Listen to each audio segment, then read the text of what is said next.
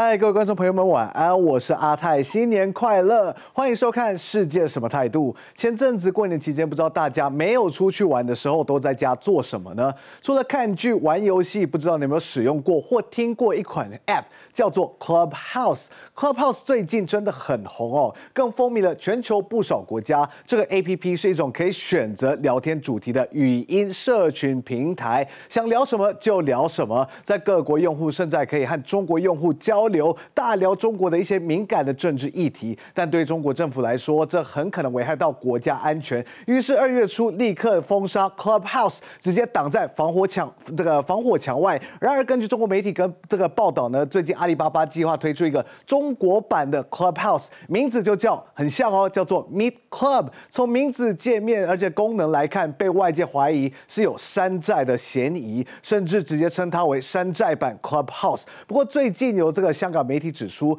，Meet Club 其实是阿里巴巴公司内部平台的一项功能而已啦，而且目前还只是在测试阶段。Just one click, wherever country you are in now, Clubhouse connects strangers to chat with any kind of topics lifestyle, sports, music, and politics. Whatever you want to talk about, they're all in this booming app, even in China. Tiananmen incident or Xinjiang Uyghur camps, these sensitive issues were definitely a green light in Clubhouse until this day. 日喺内地大受欢迎嘅社交平台 Clubhouse，星期一挨晚怀疑被封锁。 内地用户要透过翻墙软件先至可以继续使用。Clubhouse didn't last too long in China. A lot of users was surely disappointed about this restriction. However, some Chinese media has reported that China's giant company Alibaba will roll out a knockoff called Meet Club. Whether the interface or the function, even the name of Meet Club, are highly similar to Clubhouse. You also have to receive the invitation code from your friends in order to use the app, and you also have to create or join chat rooms so that you can interact with others. Some says that Meet Club is for replacing Clubhouse in China, but according to some sources, Meet Club is only a feature inside Alibaba's inter-platform, so there will be no Meet Club for regular people in China. Apparently, there is no Clubhouse either. For those users, it is truly a loss. Tarantaz Set TV Taipei. 哦，这意味着阿里巴巴的这个 Meet Club 不是给一般民众用的哦，Clubhouse 在中国也不能用。对于中国的 Clubhouse 原本的用户权益确实受到损害了。不过在台湾就没有这样的问题了哦。还没有用过的朋友也不妨可以下载看看。不过你可能会问，Clubhouse 到底是个什么样的软体呢？这个网络软体呢是叫做多人线上语音聊天社交软体，它是语音聊天的，它不用打字的，是互动版。的 podcast 有人这么说的哦，但也有人说，网络上分析其实更像三四十年前的香肠族无线电的时代，只要手边有一支无线电，可以随手调整频率，然后找到正在聊天的群组，就自由的加入聊天或旁听旁听哦。差别呢是在以前看不到主题，现在是看得到主题的。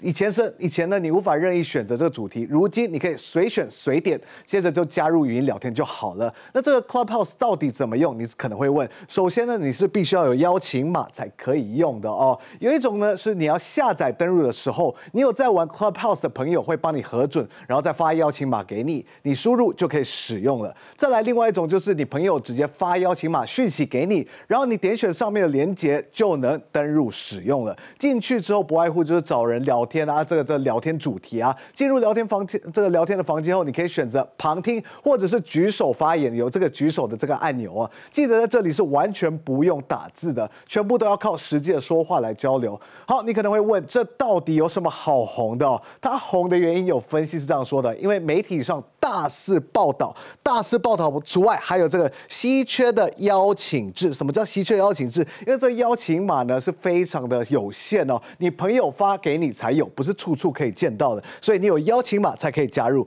再来呢，意见领袖的加入什么意思啊？就是名人啊、艺人啊，或是政治人物，有可能在跟你这个同一个。房间聊天，所以这个很有亲和力的这个意见领袖加入。再来呢，疫情时机点，大家都在家里这个隔离，所以要玩手机的话，也可能会选择 Clubhouse。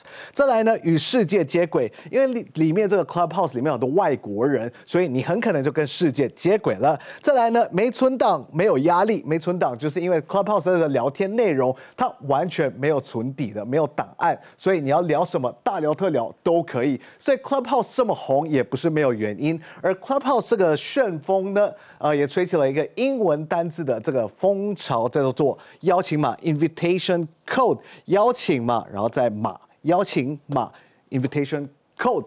接下来爆红的 Clubhouse，当然我们也可以多了解一些有关爆红的英文的用法。第一个呢，叫做 hit。hit hit 叫做极受欢迎的人事物。The musical is such a big hit。这个音乐剧呃确实极受欢迎。再来呢，sensation 这个比较少看到，sensation 引起轰动的事件。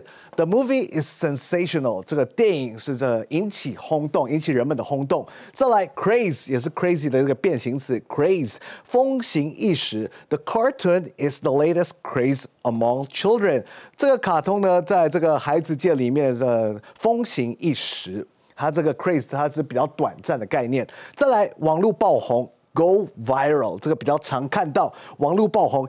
His YouTube channel went viral just in a few weeks。他的这个 YouTube 频道几周内就爆红了，在网络上爆红了。我们再重新再复习一次：Hit 是极受欢迎的人事物；Sensation 就是一个引起轰动，真的有轰动的那种概念感觉哦。再来呢，Craze 是风行一时，是比较短的一个爆红。再来，Go viral 就是单纯在讲网络爆红。